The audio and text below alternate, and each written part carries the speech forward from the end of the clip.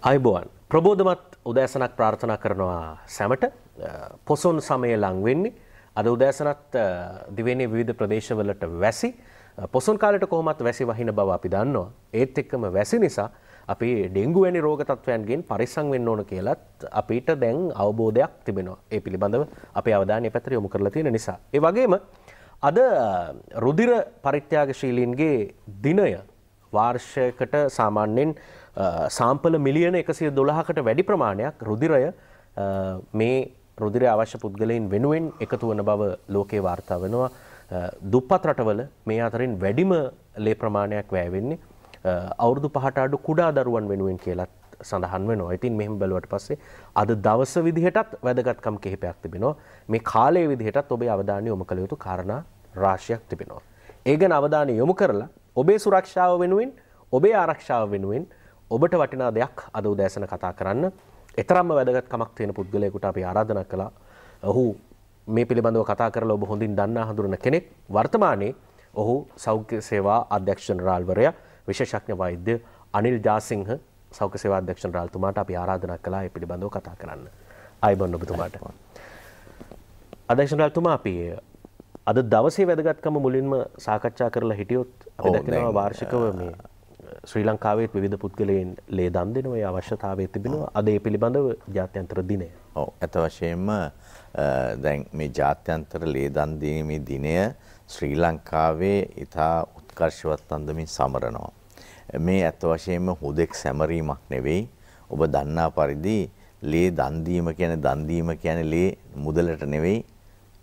ලේ කැමැති ලේ පරිත්‍යාගශීලීන් ලේ දානය කිරීම තමයි කරන්නේ. එතකොට කලකට ඉහත ඔබට මතක ඇති සමහර විට තමන්ගේ ඥාතියෙක් අසනීප වුණාම ශල්්‍ය කර්මයක් තියෙනවා නම් කියනවා මේ ශල්්‍ය කර්මය කරන්න ලේ මේ මේ මේ දෙදෙනෙක්ගේ හරි එක්කෙනෙක්ගේ හරි ගෙනල්ලා ලේ ලේ බැංකුවට ලබා දෙන්න ඊට පස්සේ අපි ශල්්‍ය කර්මය කරන්නම් කියලා. නමුත් අද වෙනකොට ඒ தત્ත්වය වෙනස් වෙලා තියෙනවා. මේකේ අර එතිකල් ඒ පැත්ත අනුව ඒ ඒ ආකාරයට රෝගීන්ට බලකිරීමක් සිද්ධ කරන්නේ නමුත් බලකිරීමක් සිද්ධ කරන්නේ නැති වුණාට එහෙනම් ලේ ලැබෙන්නත් ඕන. ලේ ලේ දෙන්න ලේ ලැබෙන්න ඕන.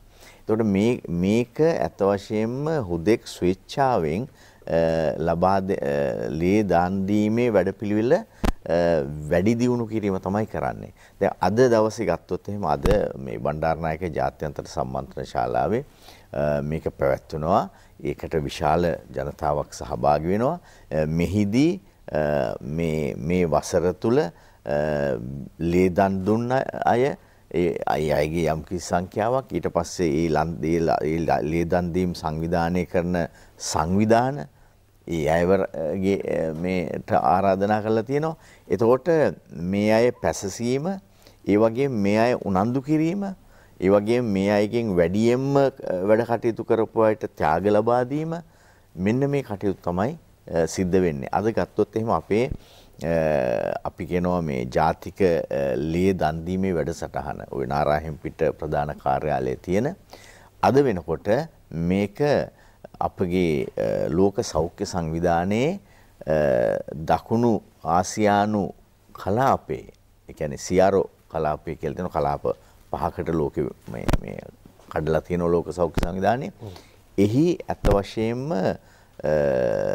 ජාත්‍යන්තර පිළිගත් මේ මධ්‍යස්ථානයක් බවට නාමකරණය කළා තියෙනවා. ඉතින් එවැනි මේ ශ්‍රී ලංකාවේ කීපයක් තියෙන්නේ ඕක එකක් ඊට පස්සේ කළුතර සෞඛ්‍ය විද්‍යායතන එකක් ඒ වගේ බොහොම කීපයක් තියෙන්නේ ඒක ඇත්ත වශයෙන්ම ඒකට හේතුව වෙන්නේ මේ අප විසින් ඓතිහාසිකව මේ ලේ දන් දීමේ සේවය ඊටාම හොඳින් ඒ ලෝක නිර්ණායකයන්ට අනුව ඒ වගේම මේ කාර්යක්ෂමව ඉටු කිරීම නිසා ඒ ඇත්ත වශයෙන්ම විදේශයෙන් විදේශිකයන් සමහර වෙලාවට එවනු ලබනවා. මේ අපේ රටේ මේ ලේදන් දීමේ සේවය අධ්‍යයනය කිරීමට ඒ සමග අප සමග තාක්ෂණික පුවමාරු සිද්ධ වෙනවා. ඉතින් එවැනි මධ්‍යස්ථානයක් බවට තමයි ඒ දැන් පත් වෙලා තියෙන්නේ. ඔව්. විශේෂෙන් දන්නවා ශ්‍රී ලංකාව සෞඛ්‍ය දර්ශකාතින් ලෝකේ ඉතා ඉහළ ඉන්න රටක්. ඒත් එක්කම නිදහස් සෞඛ්‍යයක් පවත්වාගෙන යන රටක්. සමාජයේ පැත්තෙන් බැලුවත් කෙනෙක්ගේ දුකේදී සැපේදී ළඟින් ඉන්න පිහිට වෙන රටක්. ලේ දන් දීමේ අවශ්‍යතා, ලේ දන් දීමේ කඳවුරු මම හිතන්නේ විශාල ප්‍රමාණයක් ශ්‍රී ලංකාවේ සංවිධානය වෙන විවිධ කාල සීමාවල් ඇතුළේ. වශයෙන්ම සමහරවට දින දී ගන්න බැරි වෙනවා. මේ මෙහිදී මෙහෙමයි තියෙන්නේ දැන්. දැන් සමහර වෙලාවට ඉතා කෙටි දැනුම් දීමකින් ලේ දන් දීමේ වැඩසටහන් සූදානම් කරගන්න බලනවා. නමුත් අපේ කැලෙන්ඩරයක් තියෙනවා. එතකොට මේ ලේ දන් දීමේ වැඩසටහන් සංවිධානය කර ගැනීමේදී එකක් නාරහින්පෙට රුධිර මධ්‍යස්ථානයේ ඊළඟට අපේ දිවයිනේ ප්‍රධාන රෝහල්වල තියෙන ලේ බැංකු. ඒවයින්නුත් ජංගම වශයෙන් ගිහිල්ලා විවිධ ස්ථානවල ලේ දන් දීමේ වැඩසටහන් කරනවා. හැබැයි එහිදී ඔබට ලේ දන් දෙන්න විදීමේ වැඩසටහන සංවිධානය කරන්න අවශ්‍ය නම් ටිකක් කලින් මාස 6කට විතර කලින් නම් වඩා හොඳයි. ඒ කලින් දින වෙන් කර ගැනීම තමයි වඩා සුදුසු වෙන්නේ. ඔව්. අර මේ ලෝක දත්තත් එක්ක සාකච්ඡා කරද්දී ඔබත් දන්නවා මේ වාර්තා වෙන අන්දමට ලෝකේ මතනේ දුප්පත් රටවල් වල විශාල වශයෙන් පුංචි දරුවන්ගේ අවශ්‍යතාව වෙනුවෙන් ලේ වැය කරනවා. ඒ වගේම ධනවත් රටවල වැඩිහිටියන්ගේ අවශ්‍යතාව වෙනුවෙන් ලේ වැය වෙනවා කියලා කියන මේ කවුරු වුණත් ජීවිත අපේක්ෂාවෙන් ඉන්න අය. ඉතින් මේ වෙනුවෙන් ලේ දන් දීම ඉතා හොඳ කටයුත්තක් හොඳ පින්කමක් එක්තරාතකින් මේ පොසොන් සමයෙහිම ශ්‍රී ලංකාවේ හිම ප්‍රමාණවත් තරම් ලේ ලැබෙනවද අධ්‍යක්ෂ ඇත්ත වශයෙන්ම දැන් උදාහරණයක් හැටියට දැන් අර කනකටුදායක පාස්කු ඉරිදා ඒ දිනේ මේක සිද්ධ වුණ හැටියේ සමාජ ජාලවල පළ වුණේ ලේ අවශ්‍යයි වහාම ලබා දෙන්න කියලා. ඒක හුදෙක් කියන්නේ මං හිතන්නේ ඒ ඒ පෝස්ට් එක කරන්නේ කෙනෙක් නරකට නෙවෙයි හොඳට. අවස්ථාවක් තියෙනවා කියලා හිතිලා. හිතලා. නමුත් එතකොට ඒ අනුව ඒ දින නාරාහෙන් පිට පමණක් නෙවෙයි රෝහල් වල විශාල වශයෙන් ජනතාව එක්රැස් වුණා. මේ සඳහා. නමුත් ඇත්ත වශයෙන් මේ වෙලාවේ අපිට ඒ අවස්ථාව සඳහා රුධිරේ එහෙම හදිසි අවශ්‍යතාවයක් තිබ්බේ නැහැ. නමුත් දැන් ඒ අවස්ථාවේ ඒ පැමිණි අය හරවල යවන්න බැරි නිසා හදිසියෙම මේ මේ ස්ථානවල ඒ ස්ථානවල ඒ මේ රුධිරය ලබා ගැනීමේ වැඩපිළිවෙලක් ක්‍රියාත්මක කරා. ඒ එදිනට ඒ විශාල සංඛ්‍යාවක් පැමිණුණු නිසා ඒ අනිත් අයගේ ඇත්ත වශයෙන්ම මේගොල්ලෝ ලයිස්තුගත කරලා පසුව ඔවුන් කැඳවලා ලේ ලබා දීමේ වැඩසටහනකට ගියා. ඉතින් ඒක අර අපේ සාමාන්‍ය ජනතාවගේ ප්‍රතිචාරය. ඉතින් ඒ ඒ අවස්ථාවට අවශ්‍ය නොවුනත් ඒ ජනතාව ඒ ආකාරයට ප්‍රතිචාර දක්වනවා. ඊළඟට එහෙම තමයි ශ්‍රී ලාංකිකයින්ගේ හැටි අනන්‍යතාවය ආගන්තුක සත්කාර වගේම දුකේදී සැපේදී පිහිට වෙන එක ඒක උරුම වෙච්ච ලක්ෂණයක්. සමහර ලාවට ලේවලම තියෙන දෙයක්. එක අතකින් කල්පනා කරොත්. ඊළඟට මේ වැස්සත් එක්ක ඩෙංගු රෝගය. අපි දැක්කා මේ ඩෙංගු මර්ධන වැඩසටහන් දියත් කරන්න සූදානම් වෙනවා. පහුගිය කාලවලත් එවැනි දේ සිද්ධ. ඒ වගේම අවදානම් සහිත දිස්ත්‍රික්ක කිහිපයක් නම් කරලා තිබුණා. මේ ආයමත් නිර්තදිග මෝසම සක්‍රිය වෙච්ච කාලේ අපි මොන වගේ පණිවිඩයක්ද සමාජයට මූලික වශයෙන් දෙන්න පුළුවන්? දැන් මෙහෙමයි. අත් වශයෙන්ම ඩෙංගි රෝගය කියන්නේ ඊටාම අනතුරුදායක රෝගයක්. මොකද මේ රෝගය බහුතරයකට සාමාන්‍ය ආකාරයට හැදෙනවා. තවත් සමහරුන්ට ඒක අපි ඩෙංගි හිමරජික් ෆීවර් කියන තත්ත්වයට පත් වෙනවා. දැන් වෙනකොට ඊටාම කලාතුරකින් කෙනෙක් මිය යන්න පුළුවන්. ඒකේ හොඳ පැත්ත තමයි එදා මියගිය ප්‍රතිශතය වගේ නෙවෙයි අද වෙනකොට මේ රෝහල් වලට ඇතුල් වන රෝගීන්ගේ මිය යෑම ඊටාම අවම තත්වයකට පත් වෙලා තියෙනවා. ඒකට හේතු වෙලා තියෙන්නේ ඒ ඩෙන්ගි සඳහා ප්‍රතිකාර කිරීම කියන එක යම්කිසි ප්‍රොටෝකෝල් අනුව යම්කිසි ක්‍රමයකට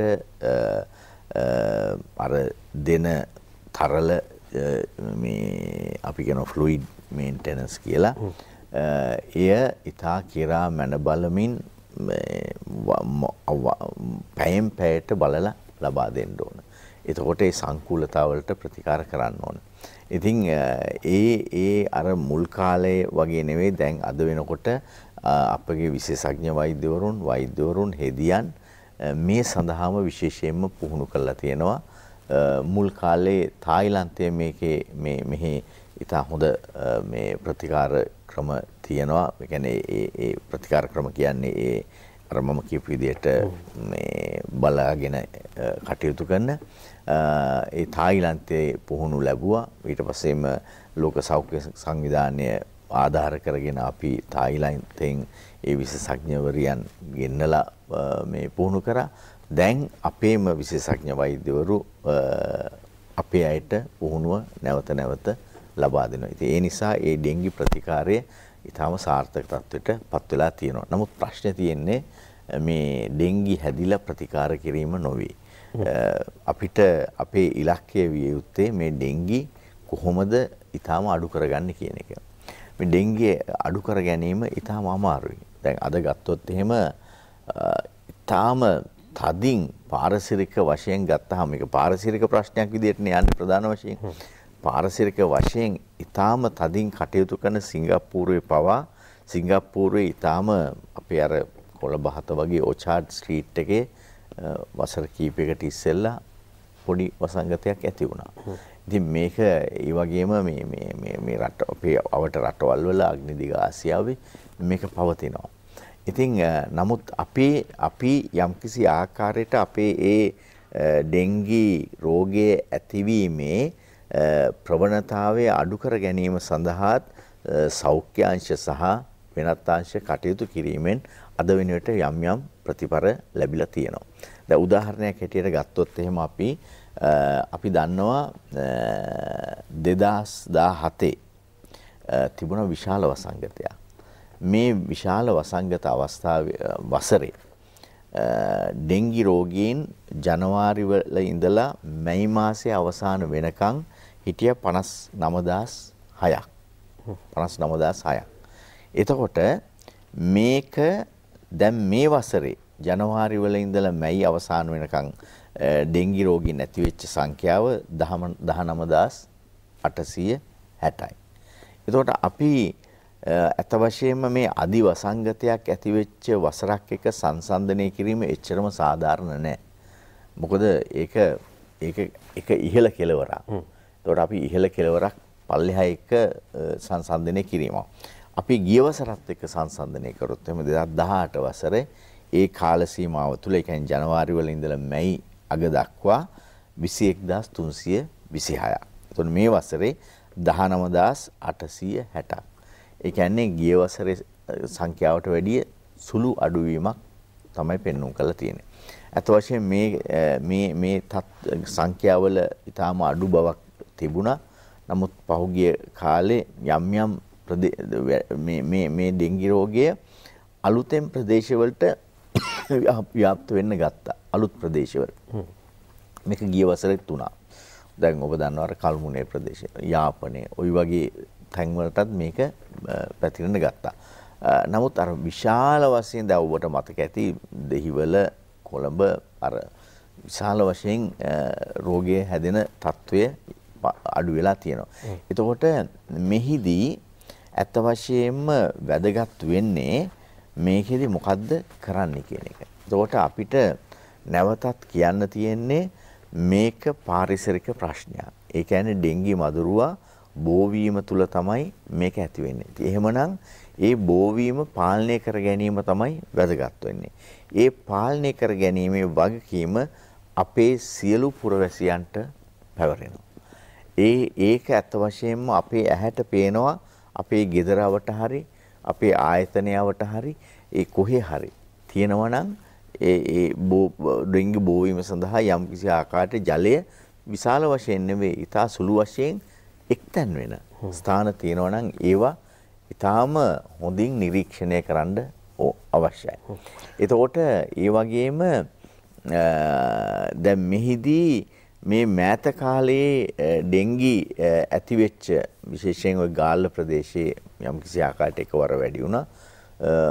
ඒ වගේම කොළඹ ප්‍රදේශයේ ඇතිවෙන ඩෙන්ගි රෝගය ගත්තාම අපි එක් ඇත්ත වශයෙන්ම අපිට පාලනය කරගත යුතු සාධකයක් විදියට අපි දකින්නේ මේ එක සාධකයක් හැටියට මේ ඉදිකිරීම් ස්ථාන.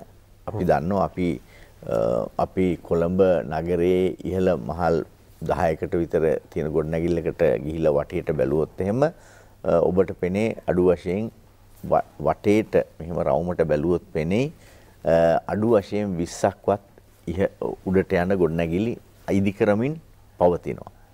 එතකොට මෙන්න මේ ස්ථාන ඊටාම අනතුරුදායක ස්ථාන. හේතුව තමයි අපි ඒ ඒ ඉදිකිරීම් වල ජලය භාවිතා කරනවා. එතකොට ඇතැම් විට කොන්ක්‍රීට් මේ පදම් කිරීම සඳහා ජලය එක්තැන් කරලා තියෙනවා.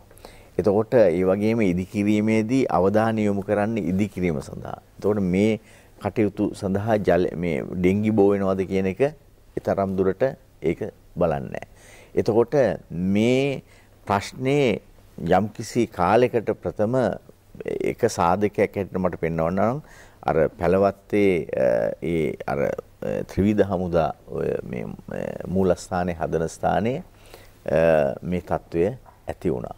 එතකොට නමුත් අද වෙනකොට ඒ ත්‍රිවිධ හමුදා මූලස්ථානයේ වැඩ කටයුතු කරනවා. නමුත් එකදු ඩෙන්ගි රෝගියෙක් එතනින් වාර්තා වෙන්නේ නැහැ. මොකද ඒ අය ඒ අය ඒක ඊටාම හොඳින් පාලනය කරන නිසා. නමුත් වෙන ස්ථානවල මේක පවතිනවා. එහෙමනම් ඒ සඳහා අපි වැඩපිළිවෙලක් ආරම්භ කරා. නමුත් ඒ වැඩපිළිවෙල අපි තවදුරටත් තහවුරු කරගත යුතුයි. වැඩපිළිවෙල තමයි අපි දන්නවා මේ ඉදිකිරීම් ස්ථානවල ජලය නැතුවම බෑ. එහෙමනම් ජලය යම්කිසි එක්තැන්වීම් තියෙනවා නම් අපි ඊටාම අමාරුවෙන් ওই පලිබෝධ නාශක ඒ ඒ රෙජිස්ට්‍රාර් ජෙනරාල් තුමා එක්කත් සාකච්ඡා කළා. ඊටාම අමාරුවෙන් ලාවිසයිඩ් ලාවිසයිඩ් කියන්නේ ඒ ඒ කීටයින්ට දාන රසායනිකය ඒවා යම්කිසි සංඛ්‍යාවක් අපි නීතිගත කරගත්තා. එතකොට එහෙම කළා අපි අර පෙස්ට් කන්ට්‍රෝල් ආයතන තියෙන්නේ ඔය තියෙන්නේ මේ මේ ඔය ගොඩනැගිලි ඉදි කරනකොටත් ඔය මේවා කරන්නේ මේ මේ පලිබෝධ මේ නාශක එකතු කරනවා නාශක. එතකොට ඒ පෙස් කන්ට්‍රෝල් ආයතනවලට අපි කිව්වා මේවා ලබා ගන්න. මේවා ලබාගෙන මේවා කොන්තරාත් කරන ස්ථානවලට විකුණන්න. කොන්තරාත් කරුවන්ට ඒ වගේම රජයේ සීඩා ආයතනය මගින් අපි ඒ හරහත් අපි කිව්වා කොන්තරාත් කරන ආයතනවලට ඒ තැන්වලට මොකද අපේ මහජන සෞඛ්‍ය පරීක්ෂකවරු ඒ ස්ථාන පරීක්ෂා කරන්න යනවා. අපි ඒ කොළඹට ගෙනල්ලා ඒ අයට කිව්වා, ගිහිල්ලා කිව්වා කරුණා කළා ඔබට යම්කිසි ආකාරයේ ජලය එක්කහුව වෙනවා නම් අන්න අර ස්ථාන වලින් ඒ ලාවි සයිඩ් අරගෙන ඒවා භාවිතා කරන්න. එතකොට අපි කීට විද්‍යා පරීක්ෂණ කරනවා. අපේ කීට විද්‍යාඥයන් ඉන්නවා. එතකොට අනිකුත් කාර්ය මණ්ඩල ඉන්නවා ඒ කීට විද්‍යා කටයුතු සම්බන්ධයෙන් ගිහිලා පරීක්ෂා කරාම ඒ ගොඩනැගිල්ලේ ඒ ජලය රැඳෙන ස්ථානයේ ජලය අරගෙන බලලා කීටයෝ ඉන්නවද කියලා බැලුවාම කීටයෝ නැත්තම් ඒක ගැටලුවක් නෙවෙයි. නමුත් කීටයෝ ඉන්නවනම් ඒක ගැටලුවක්. ඉතින් මේක පාලනය කර ගැනීම අපිට සම්පූර්ණයෙන් පාලනය කර ගැනීම තාම මේ අපහසු වෙලා තියෙනවා. ඒකටත් අර ඔබතුමාලා සඳහන් කරනවා වගේ මහජන දායකත්වයේ නියෝන දැන් ඔය පහුගිය දවස්වල දැනුවත් කළා වගේ ඒ කියන්නේ තමන්ගේ ඉඩම තමන්ගේ සීමාව නෙමෙයි මීටර 500ක් දුරට ඩෙංගු මදුරුවාට පියාසර කිරීමේ හැකියාව තියෙන දේ කලාපෙම පිරිසිදු කරගන්න කියලා. සමහරවිට තාප්පයක් ගහලා වහලා තියෙන ඉඩමක් ගැන අපි අවධානය යොමු කරන්නේ. ඒකේ ඩෙංගු කීටෙන් ඉන්න පුළුවන්. ඒ හින්දා අවධානයත් වැදගත් පුද්ගලයෝ විදියට නේද? ඔව්. ඉතින් කියන්නේ එතකොට එතෙන්දී අත් වශයෙන්ම ඒ කොන්තරාත් කරුවන්ගේ වගකීම. කොන්තරාත් කරුවට විශාල වගකීමක් තියෙනවා මේ සම නැත්තම් අපිට අත් වශයෙන්ම යම්කිසි ආකාරයකට පියවර ගැනීමේ හැකියාව තියෙනවා. ඒ විතරක් නෙවෙයි මම කල්නුත් මාධ්‍යයට කිව්වා අපි සමහරවිට පාසල් වල මේ ගැටලුවක් තියෙනවා. පාසල් වල. එතකොට මම මාධ්‍යයටත් කියපු කාරණාවක් තමයි අපි මේවා පරීක්ෂා කරාම පාසලක් වෙන්න පුළුවන් එහෙම නැත්නම් කොන්තරත් ආයතනයක් වෙනවා. ඒ කියන්නේ මේ මේ මේ ඉදි කරන ආයතනයක් වෙනවා. සමහරට ඒ ඉදි කිරීම කරන්නේ කීර්තිමත් ඉදි කිරීම ආයතනයක් වෙන්න පුළුවන්. මම කියපු එක තමයි මාධ්‍යයට අපිට ඒක හරියට මේ අපි ඒක හරියට දැනගත්තොත් අපි මාධ්‍ය මගින් නම් වශයෙන් හෙළිදරව් ගන්නවා. පාසලක් නම් අපි කියන මෙන්න මේ පාසලේ තත්ත්වය මේකයි. ඒකට අපි දන්නවනේ දැන් දැන් පාසල් වලට ගියපු ආදි ශිෂ්‍ය ශිෂ්‍යාවොත් කැමති වෙන්නේ නැහැ ඒක. තමන්ගේ පාසලේ නම කියනවා. ඒකට විද්‍යාලය ගැන ගොඩක් දෙනෙක් හිතනවනේ. ඔව් ඒ පා එතකොට ඒ විදුහල්පති ඇතුළු ආචාර්ය මණ්ඩලය කැමති වෙන්නේ.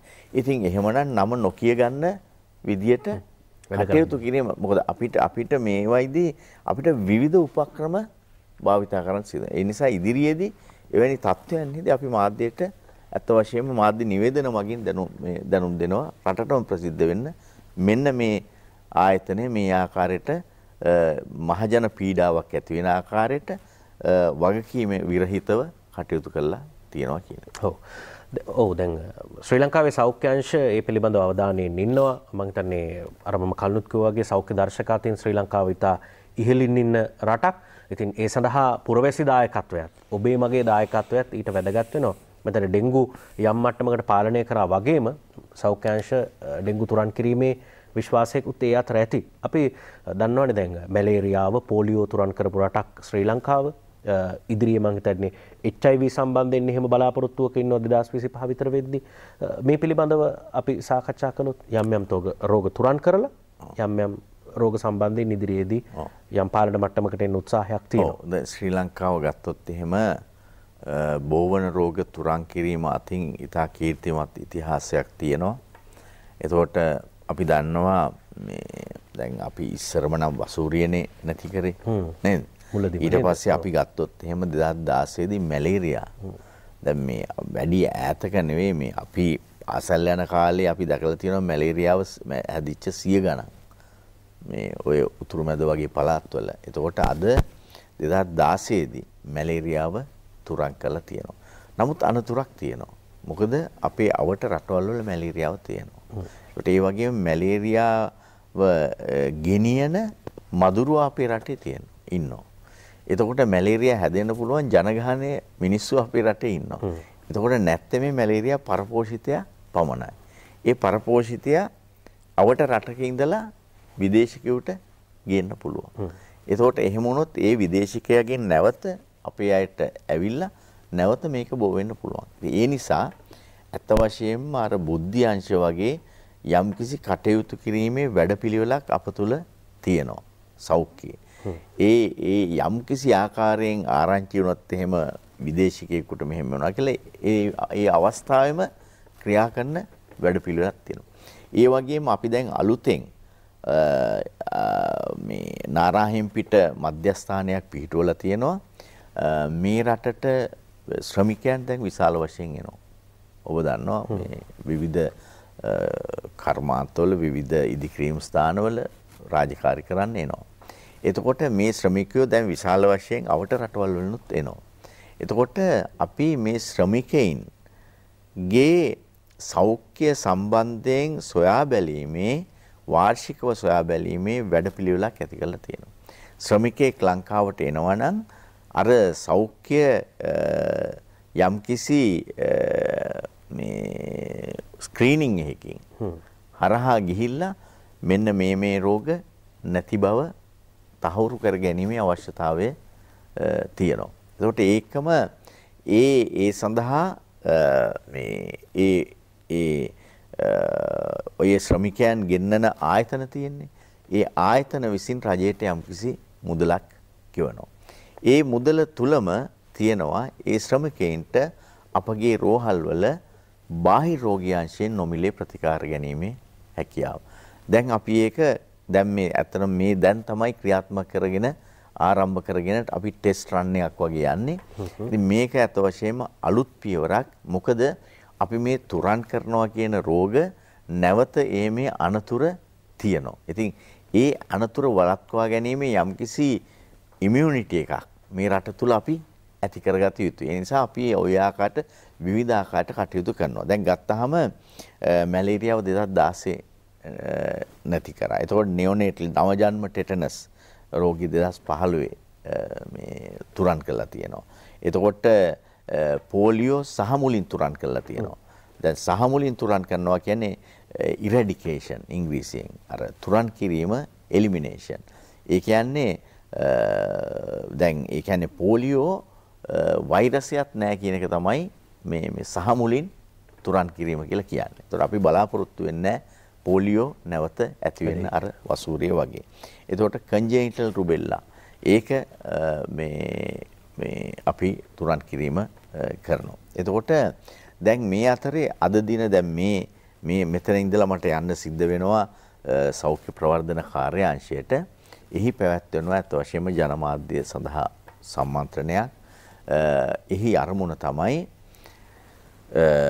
මවගෙන් ලදරුවාට HIV වෛරසය එහෙම නැත්නම් සිෆිලිස් වෛරසය ආසාදනය වීම සම්ප්‍රේෂණය වීම ආසාදනය වීම මේ රටින් තුරන් කරා කියන සහතිකය මේ වසරේ ලබා ගැනීමේ බලාපොරොත්තු අප තුළ තියෙනවා. එතකොට ඒ සඳහා අවශ්‍ය කරන විශාල පියවර රාශියක් තියෙනවා. ඒකේ ගත්තොත් එහෙම ශ්‍රී ලංකාව තුළ ඒ தત્ත්වය පාලනය කිරීම සඳහා ජාතික අපි කියන වෙරිෆිකේෂන් ටීම් කියලා. ඒ මම තමයි සභාපතිත්වය දරන්නේ. එතකොට ඊළඟට මේ කලාපය ගත්තාම අපි සියරෝ කියන අපි කියන ලෝක සෞඛ්‍ය සංවිධානයේ මේ ආසියාතික කලාපේ එහෙ එතන එහෙන් ලංකාවට එනවා රීජනල් වෙරිෆිකේෂන් ටීම් කියන එක. ඊට පස්සේ එතන අපි ලංකාවේකෙන් පාස් වෙලා ලංකා විභාගේ පාස් වෙලා ඊට පස්සේ කලාපීය විභාගේ පාස් වෙලා ඊට පස්සේ තියෙනවා ග්ලෝබල් ඒ කියන්නේ ජාත්‍යන්තර වෙරිෆිකේෂන් එක. එතකොට ඔය තුනම පාස් වෙලා අපිට මේ වසරේ ඔක්තෝබර් මාසයේ පමණ වෙන විට අපිට මේ සහතිකය ලැබෙයි කියලා තියෙනවා. ඒ සඳහා ගොඩක් වැඩ කරනවා. දැන් මමත් පහුගිය සතියක හලාවත පුත්තල මේ ප්‍රදේශවල ගියා. ඒ කියන්නේ අපි දන්නවා ඒ කියන්නේ HIV AIDS කියන්නේ මේ අත වශයෙන්ම ලිංගාශ්‍රිතව ප්‍රධාන වශයෙන් බෝවන රෝගයක් හැටියට සිෆිලිසුත් ඒ ආකාරයට. එතකොට ඒ ඒ ඒ සඳහා අපගේ තියෙන ව්‍යාපාරයක්. ඒ කියන්නේ ලිංගාශ්‍රිතව බෝ බෝවන රෝග සඳහා. එතකොට එහි මධ්‍යස්ථාන හැම දිස්ත්‍රික්කෙම තියෙනවා. එතකොට දැන් විශේෂඥ වෛද්‍යවරුත් ගොඩක් තැන්වල ඉන්නවා. එතකොට ඒ ආශ්‍රිත ලැබ් තියෙනවා. එතකොට අපි ඒව පරීක්ෂා කරන්න යනවා. දැන් මේ මේ ඔය කියන විදියට මවගෙන් ලදරුවාට මේ විස බීජ දෙක සම්ප්‍රේෂණය නොවීම සඳහා ඇති කළා තියෙන තත්වයන් ඒ ඒ ඒ ආයතනවල මොනවද කියන එක අපි බලනවා. මොකද අර රීජනල් ටීම් එක ආවම ඒගොල්ලෝ අපි දන්නෙත් නැහැ මොන ස්ථානයට ගිහිල්ලා මේක බලනවාද කියලා. ඉතින් එහෙනම් රටම සූදානම් වෙලා තීන්දීමේ අවශ්‍යතාවය. අනිත් අනිත් ඊටාම හොඳ මේ ආරංචිය තමයි අපි දන්නවා මේ මේ සරම්ප කියන එක මං හිතන්නේ ගොඩක් අය දැකලා තියෙනවා. ඒක මේ මේ පරණ රෝගයක් නෙවෙයි. දැන් සරම්ප ශ්‍රී ලංකාවෙන් තුරන් කිරීමේ සහතිකය මේ වසරේ ලබා ගැනීමේ හැකියාවක් අපිට 99ක පමණ හැකියාවක් තියෙනවා. නමුත් ඒක අවසන් වෙලා නැහැ. දැන් ඊයේත් ඒ සම්බන්ධයෙන් මේ අර නැවත ඒ කලාපීය අංශ එක්ක අපි යම් ගනුදෙනු කරා. ඒ අනුව ඒ සරම්ප රෝගය අපි ගත්තොත් එහෙම නැවතත් මම මේ කියන එලිමිනේෂන්. දැන් දැන් ඇමරිකා එක්සත් ජනපදයේ මේ සරම්ප රෝගයේ එලිමිනේෂන් හැටියට ඒ කියන්නේ තුරන් කළ විදියට ගියා. නමුත් නැවත ඇමරිකා එක්සත් ජනපදයේ රෝගීන් මතු වුණා. ඉතින් දැන් ශ්‍රී ලංකාවේ මේ රෝගීන් අපි හඳුනාගෙන නැහැ දැන් වසර කීපයක්. නමුත් මේ වසරේ මේ මාස කීපයකට ඉස්සෙල්ලා විදේශීය රෝගීන් මගින් දේශීය රෝගීන් කීප දෙනෙකුටත් මේක හැදුනා. ඒ කියන්නේ ඒ සරම්ප තත්වයක් ඇති වුණා. ඉතින් මේවා පාලනය කර ගැනීම පහසු වෙන්නේ එතකොට අපි යම්කිසි ආකාරයකට සහතිකය ලබා ගැනීම සඳහා අපි සහතික වෙන්න ඕන අපේ වැඩපිළිවෙල තුල ශ්‍රී ලංකාව තුල අපි කියනවා එන්ඩෙමික් මේ ට්‍රාන්ස්මිෂන් කියලා. ඒ කියන්නේ රට තුල පැතිර යාමක් නැහැ කියන එක.